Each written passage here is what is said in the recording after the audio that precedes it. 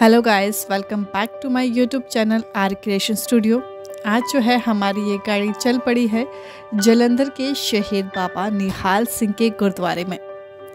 ये गुरुद्वारा बहुत ही अनोखा है दोस्तों। शायद आपने इसके बारे में सुना भी होगा, लेकिन आज जो है हम आपको इस गुरुद्वारे के दर्शन भी करवा देंगे, आपको बताएँगे कि ये गुरुद्वारा दिखने में कैसा है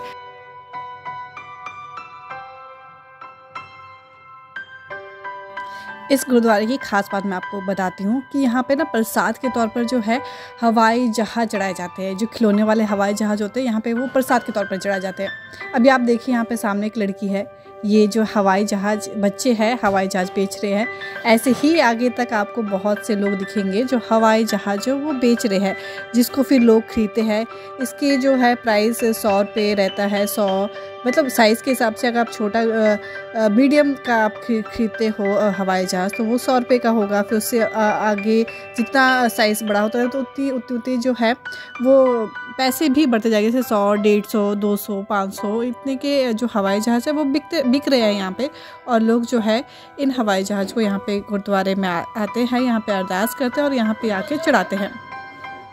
तो ये हम पहुँच चुके हैं जलंधर के शहीद बाबा निहाल सिंह जी के गुरुद्वारे में, जिसे हवाई जहाज़ गुरुद्वारे के नाम से भी जाना जाता है।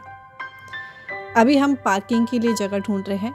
जैसे ही हम गाड़ी पार्क कर लेंगे, फिर मैं आपको दिखाऊँगी कि यहाँ पे जो दुकान है, किस तरह से सजी हुई है।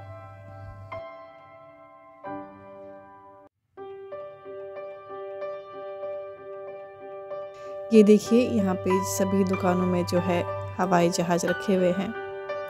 अब लोग जो है यहाँ पे आते हैं और यहाँ से हवाई जहाज़ खरीदते हैं और जो है गुरुद्वारे में पापा जी के पास माथा टेकते हैं और ये हवाई जहाज़ जो है, ये प्रसाद के रूप में जो है वो चढ़ाते हैं। अब सभी लोगों की, ज़्यादातर लोगों की इच्छा होती है कि वो भी बाहर सेटल हो, बाहर पढ़ाई करे। तो उसी को लेकर ये मान्यता है कि यहाँ पे आप आओ और अगर आपकी इच्छा है बाहर पढ़ने की या बाहर सेटल होने की तो आप यहाँ से जो है हवाई जहाज़ खरीद सकते हैं और जो है प्रसाद के रूप में जो है पापा जी को यहाँ पे चढ़ा सकते हैं, इस गुरुद्वारे में चढ़ा सकते हैं और आपकी जो इच्छा है वो पूरी होती है।